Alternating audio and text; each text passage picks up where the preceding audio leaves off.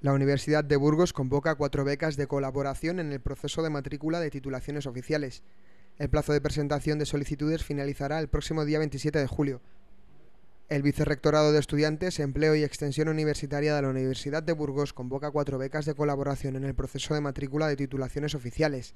La finalidad de estas becas consiste en complementar la formación académica de los alumnos mediante su colaboración en la gestión universitaria con el fin de facilitar su formación práctica.